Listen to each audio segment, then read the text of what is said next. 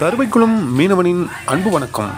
இன்றைய வீடியோ பதிவை காண்பதற்கு முன்பாக நம்ம சேனலை சப்ஸ்கிரைப் பண்ணாதவங்க கொஞ்சம் சப்ஸ்கிரைப் பண்ணுங்கள் என்னுடைய அன்பான வேண்டுகோளை ஏற்று சப்ஸ்கிரைப் பண்ணுற நீங்கள் அந்த பெல் ஐக்கானை கிளிக் பண்ணி அதில் ஆளுங்கிற ஆப்ஷனில் வச்சுருங்க. அப்படின்னா தான் நாங்கள் போடக்கூடிய வீடியோ உடனுக்குடன் உங்களை வந்தடையும். வாங்க இன்றைய வீடியோ பதிவை காண்போம்.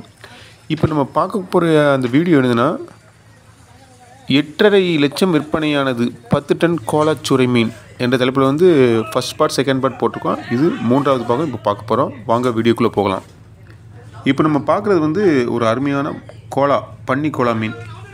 எப்படி பார்த்தாலும் ஒரு நாற்பத்தஞ்சிலேருந்து ஐம்பத்தஞ்சு அறுபது கிலோ வரைக்கும் தாராளமாக இருக்கும். அடுத்தபடி என்ன மீன் வருது? அடுத்தபடியாக ஒரு சின்ன மீன் மாதிரி தெரியுது. கையில் வச்சு தூக்குற மாதிரி தெரியுது. குட்டி பன்னிக்குலா இது பதினஞ்சுலேருந்து இருபது கிலோ இருக்கும். அதுக்கு மேலே இருக்காது. மீண்டும் அதே மாதிரி ஒரு குட்டி பன்னிக்குலை தான். பதினஞ்சு இல்லை இருபது இருக்கும். இப்போ பார்க்குற இந்த வீடியோனுடைய ஃபஸ்ட் பார்ட்டில் வந்து பெரும்பாலும் சூரை மீன் தான் போச்சு.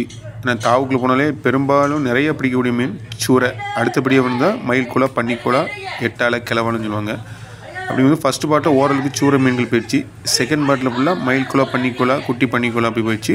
கொஞ்சம் கொஞ்சம் கொஞ்சம் கொஞ்சம் சூறைகள் வந்துச்சு. ஆனால் இப்போது இந்த பாகத்தில் வந்து சூரை மீன் வர்றதுக்கு ரொம்ப வாய்ப்பு கம்மி. ஏன்னா ஒவ்வொரு பெட்டியாக காலி பண்ணுறாங்க இந்த ஒவ்வொரு அடுக்கடுக்காக இருக்குதுல்ல ஃபஸ்ட்டில் சூற மீனாக இருந்துச்சு. அடுத்தது பன்னிக்குலா எட்டாலை அப்படின்னு ஒரு ரேக்கை காலி பண்ணிட்டு வராங்க.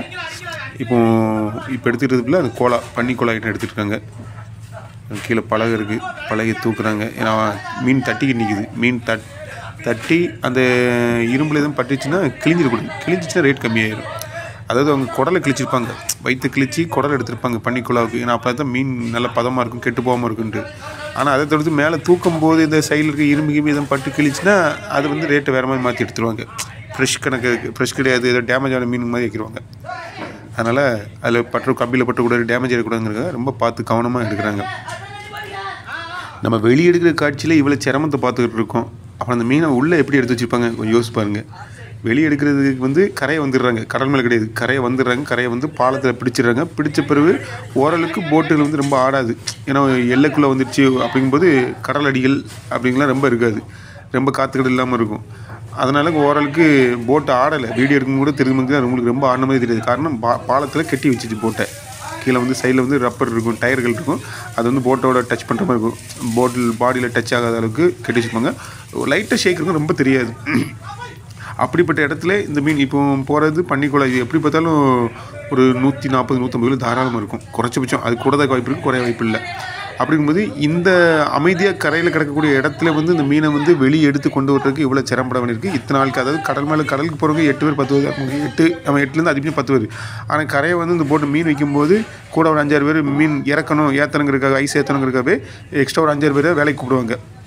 ஒரு இந்த- நாலு மணி நேரம் அஞ்சு மணி நேரம் மீன் இறக்கிறதுக்கு மட்டும் வேலைக்கு கூப்பிடுவாங்க. அப்படிங்கும்போது பத்து பதினஞ்சு பேர் சேர்ந்து வேலை பார்த்துட்டு இருக்காங்க. இந்த மீனை ஏற்றுறாங்க இறக்குறாங்க. அதே இது கடல் மேலே இருக்கும்போது அந்த எட்டு பேர்லேருந்து பத்து பேர் தான் போயிருப்பாங்க அங்கே காற்று கடல் அலக்கழிக்கும் போட்டு அங்கிட்டுங்கன்னு அசையும். அப்படிப்பட்ட நேரத்துலையும் இந்த போட்டை வலையில் உள்ள வலையில் பட்ட மீனை போட்டுக்குள்ளே வாங்கி வச்சு போட்டுக்குள்ளே அந்த மீனை இந்த ஐஸ்குள் பாருங்கள் எவ்வளோ நீளம் எவ்வளோ நீளத்துக்கு கரெக்டாக உள்ளே கொண்டு போய் எந்த பெட்டியில் அடிக்கணும் ரேக்கில் அடிக்கணும் அது இருந்தாப்பில் உள்ள கீழே சரியான அளவுக்கு ஐஸை போட்டு அதுக்கு மேலே அந்த மீனை வச்சு அதுக்கு மேலே நல்ல பதமான ஐஸை போட்டு இருக்கக்கூடிய மீன் இப்படி உள்ள அடிக்கி அடிக்கிங்கிறது சாதாரண இல்லை பெரிய மிகப்பெரிய ஒரு திறமையான விஷயம். பார்க்க போனால் மீனவன் அப்படி சொல்லி போயிடலாம். ஆனால் அந்த மீனவன் க படை பிடிக்கக்கூடிய மீனை வந்து எவ்வளோ பாதுகாப்பான முறையில் இங்கே இந்த ஆழத்துக்குள்ளே கொண்டு போய் வச்சு அது மேலே ஐஸ் அடித்து அதை கரையை கொண்டு வந்து இந்த மாதிரி அழகான முறையில் கப்பி முறையில் தூக்கி வெளியே கொண்டு விற்கங்கிறதுலாம் ஒரு பெ பெருமைக்குரிய விஷயம் தான். சாதாரண விஷயம் கிடையாது. இப்போ கப்பி போட்டு தூக்கிட்டு இருக்க இந்த மீன் வந்து கோலை தான். பன்னி கோலை தான். எப்படி எழுபது எண்பது கிலோ தாராளமாக இருக்கும். நல்லா ஒவ்வொரு மீனையும் இப்படி தான் நல்லா கழுவுறாங்க.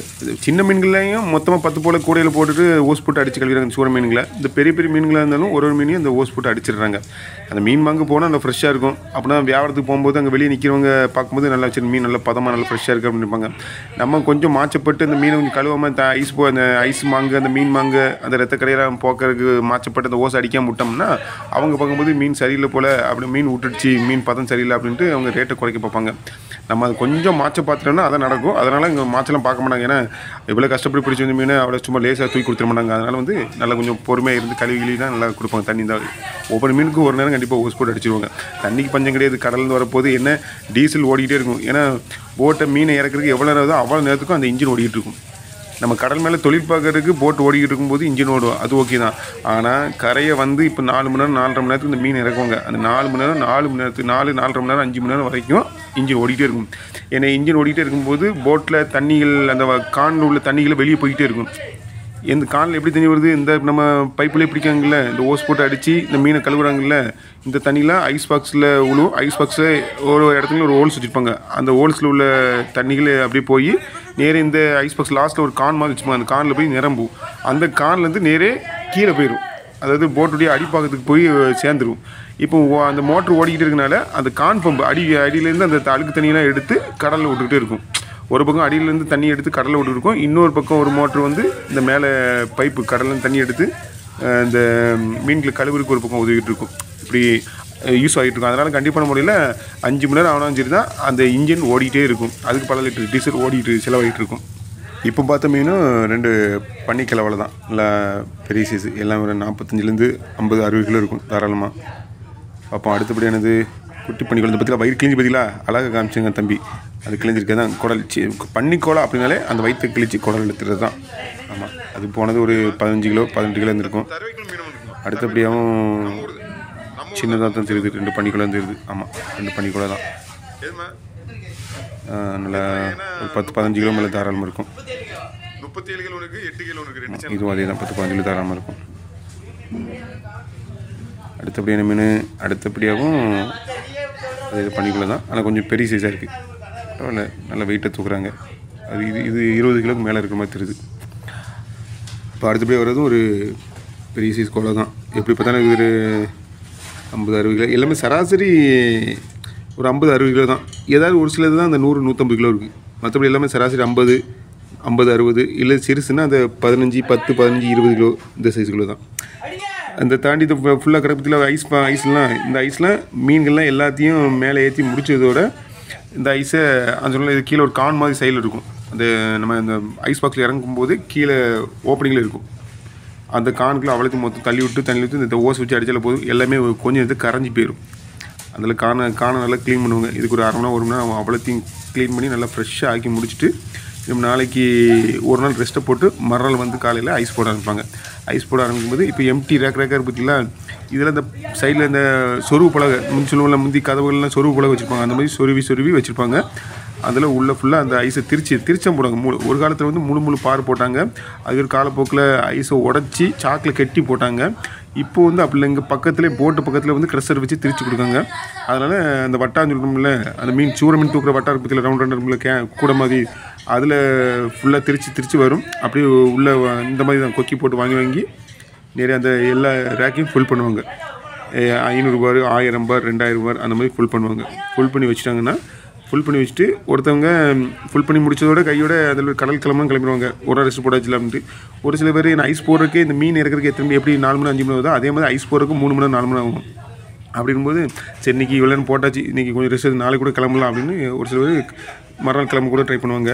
ஒரு சில பேர் அன்றைக்கி சரி மறுநாள் கிளம்புறதா இருந்தால் அப்புறம் ஐஸு ரேஷன் போர்டுக்கு ஜாமான் இந்த மாதிரி காய்கறி ஜாமான்கள்லாம் வாங்கி வைப்பாங்க. வாங்கி வச்சுட்டு டீசல் எத்தனை டன் எத்தனை லிட்டர் வேணும்? ஆய ஐயா ஆயிரமா ரெண்டாயிரமா மூவாயிரமா? அதை ஏற்றி முடிச்சுட்டு நாளைக்கு கடல் கரெக்டாக போகிற மாதிரி ஆயத்தமாக நாளைக்கு வந்தவொடனே இன்ஜினை ஸ்டார்ட் பண்ணி கடல் கிடைக்கும் அந்த மாதிரி அவ்வளோத்தையும் ரெடி பண்ணி வச்சுட்டு கரை கிளம்புவாங்க. வீட்டுக்கு கிளம்புவாங்க. அப்புறம் மறுநாள் காலையில் வந்தவொடனே வந்தவொடனே இன்ஜினை ஸ்டார்ட் பண்ணி கடல் கடிக்க ஆரம்பிச்சுவாங்க ஓகே நண்பர்களே இன்றைய வீடியோ பதிவு எப்படி இருந்துச்சு? இன்றைய வீடியோ பதிவு பிடிச்சிருந்துச்சா இல்லையா? அதை பற்றி கருத்துக்களை கமெண்ட் வேலையை தருவீங்க. இப்போ பார்த்த இந்த வீடியோடைய அடுத்த பார்ட் வந்து இன்னும் ஒரு இரண்டு மூணு தினங்களில் அப்லோட் பண்ணுவோம். இப்போ பார்க்கக்கூடிய இந்த வீடியோட ஃபர்ஸ்ட் பார்ட் செகண்ட் பார்ட்டுடைய லிங்க் வந்து இப்போ பா பார்த்துக்கிட்டு இருக்க இந்த வீடியோடைய டிஸ்கிரிப்ஷனில் கொடுத்துருக்கோம். பாருங்கள் மீண்டும் சிறப்பான வீடியோ சந்திப்போம். அதுவரை உங்களிடம் இந்த விடைபெறுவது தரவை புவி அருண். நன்றி நன்றி நன்றி.